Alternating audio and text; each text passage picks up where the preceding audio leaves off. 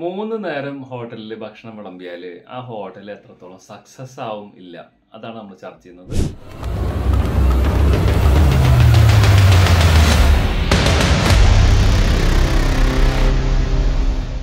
ഞാൻ Bukhari food alchemist ആണ്. അതുപോലെ ഹോട്ടൽസ് റെസ്റ്റോറന്റ് ബിസിനസ് ഡെവലപ്പറും കൂടിയാണ്. ഓക്കെ അപ്പോൾ മൂന്ന് നേരം ഭക്ഷണം കൊടുത്താൽ എങ്ങനെ ഉണ്ടാവും? നല്ലതാണ്. കച്ചവടം ഉണ്ടെങ്കിൽ സൂപ്പറാണ് അതാണ് ഫസ്റ്റ് പറയാനുള്ളത്. അപ്പോൾ ഞാൻ എന്റെ മുൻ കഴിഞ്ഞ ചില എപ്പിസോഡുകളിൽ പറയുന്നുണ്ട്. നമ്മുടെ ലൊക്കേഷൻ ഒരു വലിയ ഇമ്പോർട്ടന്റ് ആണ്. ചില ലൊക്കേഷനിൽ മൂന്ന് നേരം നിർബന്ധമായിരിക്കും. ഇപ്പോൾ ഒരു ഉദാഹരണത്തിന് ബസ് സ്റ്റാൻഡ് ഹോസ്പിറ്റൽ ചില ടൗണുകളുടെ നടുക്ക്. ക്രൗഡഡ് ഫുള്ളി ക്രൗഡഡ് അവിടെയൊക്കെ രാവിലെ മുതൽ ചിലപ്പോൾ നമുക്ക് ഭക്ഷണം ചിലവാകും. അങ്ങനെയെങ്കിൽ നമ്മൾ തീർച്ചയായിട്ടും ആ ഒരു രാവിലെ ഉച്ചയ്ക്ക് രാത്രി മൂന്ന് നേരം പ്ലാൻ ചെയ്ത് ചെയ്താൽ പരമാവധി ഹോട്ടൽ തുറന്നാൽ ഷട്ടർ അടക്കരുത് എന്നാണ് ഞാൻ ഉപദേശിക്കാറ്. കാരണം അതിന് പറ്റിയ ലൊക്കേഷൻ ആണെങ്കിൽ ട്വന്റി ഫോർ അവേഴ്സ് നടത്തണം. കാരണം ട്വന്റി ഫോർ അവേഴ്സ് നടത്തുമ്പോൾ ഒരുപാട് ഗുണങ്ങളുണ്ട് ഹോട്ടലിന്. ഒരുപാട് പ്രോഫിറ്റും ഉണ്ട്. നമ്മൾ പ്രതീക്ഷിക്കാത്ത പല നേട്ടങ്ങളും അതിനകത്തുണ്ട്. ഓക്കെ അത് മറ്റൊരു എപ്പിസോഡിൽ നമ്മൾ ചർച്ച ചെയ്യുന്നുണ്ട്. അപ്പോൾ രാവിലെ തന്നെ ഉണ്ടെങ്കിൽ ഇല്ലെങ്കിൽ. അപ്പോൾ ഉണ്ടെങ്കിൽ എന്താണെന്ന് വെച്ച് കഴിഞ്ഞാൽ ഒരു കുക്ക് നാല് മണിക്ക് അഞ്ച് മണിക്ക് വരണം. അപ്പോൾ ഇന്ന് ഞാൻ കണ്ടുപിടിച്ച പല ടെക്നോളജികളും ഉപയോഗപ്പെടുത്തി കഴിഞ്ഞാൽ ആ കുക്ക് ആറ് മണിക്ക് വന്നു കഴിഞ്ഞാൽ ആറരയ്ക്ക് ഫുഡായിരിക്കും അതാണ് പുതിയ ടെക്നോളജികൾ മാക്സിമം വൺ അവറിൽ കുറേ ഫുഡുകൾ അയാൾക്ക് ചെയ്യാൻ കഴിയും. അത് ടെക്നോളജി ഉൾപ്പെടുത്തുന്നതുകൊണ്ടാണ്. ടെക്നോളജി ഇല്ലെങ്കിൽ ഇവൻ നാല് മണിക്ക് വന്നാലാണ് ഒരു ഏഴ് മണി ഒക്കെ ആകുമ്പോൾ അത്യാവശ്യം ഫുഡുകളൊക്കെ അങ്ങനെ ആയി ആയി ആയി വരുള്ളൂ. ഓക്കെ അപ്പോൾ ടെക്നോളജി ഉപയോഗപ്പെടുത്തുന്നവൻ വളരും. ടെക്നോളജി ഉപയോഗപ്പെടുത്താത്തവൻ തളരും. ഓക്കെ അപ്പോൾ നമുക്ക് ആ ഒരു രാവിലത്തെ ഫുഡ് ചില ലൊക്കേഷനിൽ ഇടുമ്പോൾ അതിനുവേണ്ടി മിനിമം ചെറിയ ബിസിനസ് ഒക്കെ ആണെങ്കിൽ അതിന് വേണ്ടിയിട്ടുള്ള സർവീസ് ബോയ് വെച്ചു കൊടുക്കാൻ പറ്റും. ആ മിനിമത്തിലുള്ള ബിസിനസ്സിലൂടെ നമുക്ക് ആ സ്റ്റാർട്ടപ്പ് അത്യാവശ്യം സ്റ്റാഫിന് വേണ്ട ഫുഡുകളും അതിലാവും. അതുപോലെ തന്നെ ടൈം ട്രാക്കിംഗ് ഹോട്ടലിൽ പഠിപ്പിച്ചിട്ടുണ്ടെങ്കിൽ മിനിമം ഒരു മെയിൻ കുക്കും രണ്ട് അസിസ്റ്റന്റും ഉണ്ടെങ്കിൽ രാവിലത്തെ ഫുഡുകളൊക്കെ വെച്ച് വെച്ച് വെച്ച് വെച്ച് ബിരിയാണി മീൽസ് ഇതൊക്കെ വെച്ച് ചെയ്യാൻ പറ്റും. അതല്ലെങ്കിൽ ഒരു അഞ്ച് പേര് ആറ് പേര് മിനിമം വേണം. അല്ലെങ്കിൽ നടക്കില്ല. ഓക്കെ? അപ്പോൾ ടൈം ട്രാക്കിംഗ് ട്രെയിനിങ് എടുത്ത കിച്ചണിൽ മാത്രമാണ് ഈ പറഞ്ഞ പോലെയുള്ള ബെനിഫിറ്റ് ഉണ്ടാവുള്ളൂ ഓണർക്ക് അല്ലാത്തവർക്ക് ഉണ്ടായിരിക്കില്ല. അപ്പോൾ നോർമലായിട്ട് നമുക്കത് ടൈം അവരുടെ ഡ്യൂട്ടി ഷെഡ്യൂൾസ് വെക്കുമ്പോൾ ആ കുക്കിന് രാവിലെ നാല് മണി മുതൽ ഉച്ചയ്ക്ക് ഒരു പതിനൊന്നര പന്ത്രണ്ട് മണി വരെ വെച്ച് റെസ്റ്റിന് പോയി. പിന്നെ നെക്സ്റ്റ് ഡേക്കുള്ള പ്രിപ്പറേഷന്റെ ബാക്കപ്പ് ചെയ്യാനായിട്ട് വൈകിട്ടൊരു ടൈം കൂടി വന്നു പോയി കഴിഞ്ഞാൽ അത് ഏകദേശം മാച്ചാവും ചില ലൊക്കേഷനിൽ അത് നടക്കില്ല. രാവിലെ വെച്ചാൽ ചിലപ്പോൾ ആരും ഉണ്ടാവില്ല വളരെ കുറവായിരിക്കും. പിന്നെ ചില ലൊക്കേഷനിൽ നമ്മൾ ഉദ്ഘാടന സമയം മുതലേ അത് പരിശീലിപ്പിക്കണം രാവിലെ മുതൽ ഉണ്ട് എന്നുള്ളത്. അപ്പോഴേ ആളുകൾ വരുള്ളൂ. അത് മറ്റൊരു കാര്യമാണ്. മറ്റൊരു ബിസിനസ് ട്രിക്കും സ്ട്രാറ്റജിയാണ് പെർഫെക്റ്റ് ആയിട്ട് അങ്ങനെ നമ്മൾ എന്താണോ അവിടെ കൊടുക്കാൻ ഉദ്ദേശിക്കുന്നത് എങ്ങനെയാണ് കൊടുക്കാൻ ഉദ്ദേശിക്കുന്നതെങ്കിൽ ആ രീതിയിൽ നമ്മൾ സ്റ്റാർട്ടിങ് മുതൽ തന്നെ അപ്ലൈ ചെയ്യണം. എങ്കിലാണ് ആ ബിസിനസ് പെർഫെക്റ്റ് ആയിട്ട് നമുക്ക് വരുള്ളൂ. ഓക്കെ പിന്നെ ഉച്ച മുതൽ. അപ്പോൾ പല സ്ഥലങ്ങളിലും ഉച്ച മുതലാണ്. ഇപ്പോൾ മന്തിക്കടകൾ കടകൾ ബിരിയാണി കടകളൊക്കെ ആണെങ്കിൽ പുലർച്ചയ്ക്ക് ബിരിയാണി വിൽക്കുന്ന കടകളുണ്ട് അത് വേറെ ഇഷ്ടമാണ് ഉച്ച മുതലാണ് നോർമലായിട്ട് സ്റ്റാർട്ട് ചെയ്യുക. ഉച്ചയ്ക്ക് സ്റ്റാർട്ട് ചെയ്ത് കഴിഞ്ഞാൽ രാത്രി വരെ അതങ്ങനെ ഓടിച്ചു കൊണ്ടുപോയി ചെയ്യാം.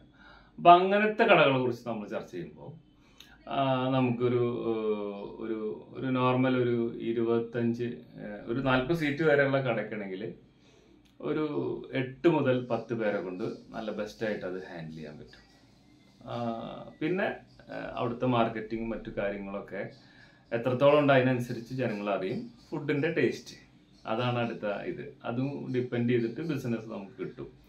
പക്ഷെ രാവിലത്തെ ബാച്ച് വെക്കുമ്പോൾ കിച്ചനകത്ത് സിസ്റ്റമാറ്റിക് ആയിട്ടാണ് അല്ലെങ്കിൽ വെൽ ട്രെയിൻഡ് ആയിട്ടുള്ള ആളുകളാണെങ്കിൽ മാത്രമാണ് രാവിലെ മുതൽ ഷെഡ്യൂൾഡ് ആയിട്ട് സാധനങ്ങൾ ഇങ്ങനെ ചെയ്ത് ചെയ്ത് ചെയ്ത് ചെയ്ത് വരാൻ പറ്റുള്ളൂ. എക്സ്പെഷ്യലി ചില മുക്കി പൊരിക്കുന്ന കടികൾ ആ കുക്കിന് ചെയ്യാൻ പറ്റും. ഇതിന്റെ ഇടയിൽ ചെയ്ത് ചെയ്ത് പോകാൻ പറ്റും. അതല്ലാത്ത കടികൾ ഇപ്പോൾ തലശ്ശേരി കടികൾ പോലെയൊക്കെയുള്ള ഹാൻഡ് ഫുള്ളി ഹാൻഡ് മെയ്ഡ് കടികൾ അയാൾക്ക് ചെയ്യാൻ പറ്റില്ല. ടൈം ജാമായി പോകും. അതല്ലെങ്കിൽ ആ കുക്കിന് രാവിലെ കറികൾ പിന്നെ മീൻസ് ബ്രേക്ക്ഫാസ്റ്റിന് വേണ്ട കറികൾ പിന്നെ ലഞ്ചിന് വേണ്ടിയിട്ടുള്ള എന്റെ സ്റ്റാർട്ടപ്പ് പിന്നെ ബിരിയാണികൾ മന്തി പിന്നെ ലഞ്ചിന്റെ പണികൾ സലാഡ്സ് ഒക്കെ ചെയ്ത് പെർഫെക്റ്റ് ആയിട്ട് ആ കുക്കിനും അവരുടെ രണ്ട് അസിസ്റ്റന്റിനും കൂടിയിട്ട് വർക്ക് ഫിനിഷ് ചെയ്ത് പോകാൻ പറ്റും. പറ്റണമെങ്കിൽ അവർക്ക് ട്രെയിനിങ് കിട്ടിയിരിക്കണം. അല്ലെങ്കിൽ ഞങ്ങളെ പോലുള്ള ആളുകളെ കൊണ്ടുപോയി അവർക്ക് ട്രെയിനിങ് കൊടുത്താൽ മാത്രമാണ് ഇതാവുള്ളൂ. പക്ഷെ മിനിമം നിങ്ങൾക്ക് ഒരു ഒരു രണ്ടായിരത്തി അഞ്ഞൂറ് രൂപ മിനിമം പെർ ഡേ ലാഭിക്കാം. എങ്ങനെ? മോശമല്ലല്ലോ. മാസം ഒരു എഴുപത്തി അയ്യായിരം രൂപ മിനിമം അപ്പൊ അങ്ങനെ കൃത്യമായിട്ട് സ്റ്റാഫിനെ ഷെഡ്യൂൾ ചെയ്തിട്ട് ചെയ്യിപ്പിക്കാൻ നിങ്ങൾക്ക് കഴിവുണ്ടെങ്കിൽ അല്ലെങ്കിൽ ചെയ്യിപ്പിച്ചാൽ നിങ്ങൾ ഹോട്ടലിന് വലിയൊരു ലാഭം അതിനകത്ത് എടുക്കാൻ പറ്റും. ഓക്കെ അപ്പോൾ പല ടെക്നോളജി ഇപ്പോൾ അറിയ അറിയ പോലും ചെയ്യാത്ത ആളുകൾ ഇപ്പോഴും ഇഷ്ടം പോലെ ഉണ്ട് നമ്മുടെ നാട്ടിൽ അപ്പോൾ ഈ മൂന്ന് നേരം ഭക്ഷണം കൊടുക്കുമ്പോൾ അത്യാവശ്യം നല്ല സെയിൽ ഉണ്ടെങ്കിൽ പിന്നെ അവൻ ഹോട്ടലിൽ ഒന്ന് രണ്ട് മൂന്ന് നാല് അഞ്ച് അങ്ങനെ ചെയ്തുകൊണ്ടേയിരിക്കും. പിന്നെ സിസ്റ്റം കൂടെ അഡാപ്റ്റ് ചെയ്തിട്ടുണ്ടെങ്കിൽ നമ്മുടെ നാട്ടിൽ സിസ്റ്റം അഡാപ്റ്റ് ചെയ്യൽ കുറച്ച് കുറവാണ്. ആ സിസ്റ്റം കൂടെ അഡാപ്റ്റ് ചെയ്താൽ മേലേക്ക് വളർന്നുകൊണ്ടേയിരിക്കും ഇല്ലെങ്കിൽ ഈ കാലഘട്ടത്തിൽ സിസ്റ്റം ഇല്ലാതെ വളർന്നു നിൽക്കുന്നവർ ആരെങ്കിലും ഉണ്ടെങ്കിൽ ഇനി തളർച്ചയുടെ കാലഘട്ടമാണ്. കാരണം ഇനി പിന്നിലേക്കാണ് പോവുക. കാരണം സിസ്റ്റം ഇല്ലാതെ കുറച്ച് പ്രശ്നമാണ്. അത് ഓടിച്ചു കൊണ്ടുപോകാൻ. കാരണം തൊഴിലാളികൾ കിട്ടാനുള്ള ബുദ്ധിമുട്ടുകൾ ഉണ്ടെങ്കിൽ നല്ല ഹൈ സാലറി പേ ചെയ്യണം. ഹൈ സാലറി പേ ചെയ്യണമെങ്കിൽ വളരെ സിസ്റ്റമാറ്റിക്കായിട്ട് ചെയ്യാനും ചെയ്യിപ്പിക്കാനും അത് അറിയുന്ന ആളുകളാണെങ്കിൽ മാത്രമേ പറ്റുള്ളൂ. കാരണം ഇപ്പോൾ ഞാൻ ജോലിക്കൊക്കെ പോകുമ്പോൾ ഞാനും എന്റെ ഒരു രണ്ട് അസിസ്റ്റന്റും മാത്രം ഒരു നൂറ് ടു നൂറ്റമ്പത് കിലോ അരിയുടെ എല്ലാ വർക്കുകളും രാവിലെ ആറു മണിക്ക് ഒന്ന് ചെയ്ത് ഒമ്പതരക്ക് ഫിനിഷ് ചെയ്യും. പത്തര മുതൽ വിളമ്പി തുടങ്ങാവുന്ന കണ്ടീഷനിലാവും പതിനൊന്ന് മണിയാവുമ്പോഴേക്കും സലാഡ്സ് കംപ്ലീറ്റ് വലിയ യന്ത്രങ്ങളൊന്നും ഇല്ലാതെ ഉള്ള സാഹചര്യമാണ് ഞാൻ പറയുന്നത്. അങ്ങനെ ചെയ്തിരുന്നു. അപ്പം അത് ഞങ്ങളുടെ എക്സ്പീരിയൻസും പ്രാക്ടീസും നമ്മുടെ നോളജാണ് ബിരിയാണികളും മന്തികളും കാര്യങ്ങളും കറികളും അങ്ങനെ സകലതും ഓക്കെ? അപ്പം അങ്ങനെയൊക്കെ ചെയ്തിട്ടുള്ളത് ഞങ്ങളുടെ എക്സ്പീരിയൻസ് ആണ്. ഞാൻ ഉണ്ടാക്കിയെടുത്ത എന്റെ ഹോട്ടൽസിനും അല്ലെങ്കിൽ ഞാൻ വർക്ക് ചെയ്യുന്ന ഹോട്ടൽസിനും ഒരു ഗ്രേറ്റ് സക്സസ് കൊടുക്കാൻ വേണ്ടിയിട്ടും കൂടിയാണ് ഈ ടൈം ട്രാക്ക് ഉണ്ടാക്കിയെടുത്തിട്ടുള്ളത്. പിടികിട്ടിയ. അപ്പോൾ ഇങ്ങനെയൊക്കെ ചെയ്താൽ മൂന്ന് നേരത്തെ ബിസിനസ് ചെയ്താൽ ആ ഹോട്ടൽ ഓണർ നല്ല സമ്പന്നനായിരിക്കും. നല്ല പണക്കാരനായി മാറും. പക്ഷേ ഡേ വണ്ണ് മുതൽ അതിൽ കുറേ കാര്യങ്ങളുണ്ട്. ആ ലൊക്കേഷൻ അനുസരിച്ച് ഡിസ്പ്ലേ സെറ്റ് ചെയ്യുന്ന രീതി. അങ്ങനെ അങ്ങനെ അങ്ങനെ അതിനകത്ത് കുറേ കാര്യങ്ങളുണ്ട്. അതൊക്കെ കറക്റ്റായിട്ട് മാച്ച് ചെയ്ത് ഫുൾ പവറിൽ അത് ചെയ്താൽ ഗ്രാൻഡ് സക്സസ് നമുക്ക് ഉണ്ടാക്കാൻ പറ്റും. പിന്നെ തുടങ്ങുന്ന അന്ന് മുതൽ തന്നെ ഉദ്ഘാടന ദിവസം മുതൽ തന്നെ എന്താണ് നമ്മൾ ഉദ്ദേശിക്കുന്നത് അതവിടെ ഉണ്ടായിരിക്കണം. അപ്പോൾ പലപ്പോഴും രാവിലെ നമ്മൾ ചെയ്തു വെച്ച പല സാധനങ്ങളും കയ്യിൽ നിന്ന് പോകും സെയിൽ കറക്റ്റായിട്ട് നടന്നിട്ടില്ലെങ്കിൽ അപ്പോൾ അതിനൊക്കെ കുറേ ഐഡിയകളുണ്ട്. അപ്പോൾ പേടിക്കാതെ അതിനെ ബിസിനസ്സിലൂടെ തന്നെ മുതലാക്കി എടുക്കാനുള്ള പല ഓപ്ഷൻസും ഉണ്ട്. അപ്പോൾ അത് പഠിച്ചാൽ മാത്രമാണ് നിങ്ങൾക്ക് അത് പെർഫെക്റ്റ് ആയിട്ട് ചെയ്യാൻ പറ്റുക.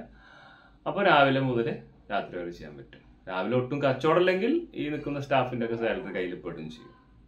അപ്പോൾ അത് ഒരു എക്സ്പീരിയൻസ് ആണ്. അപ്പോൾ കൂടുതൽ സംശയങ്ങളൊക്കെ ഉണ്ടെങ്കിൽ കമന്റിലൂടെ ചോദിക്കുക.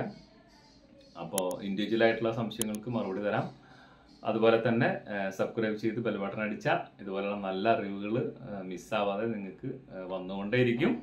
അതുപോലെ തന്നെ നല്ല അറിവുകൾ നിങ്ങൾക്ക് ലക്ഷക്കണക്കിന് രൂപയാണ് ലാഭം നൽകുക. അപ്പോൾ ലാഭം വേണ്ടേ?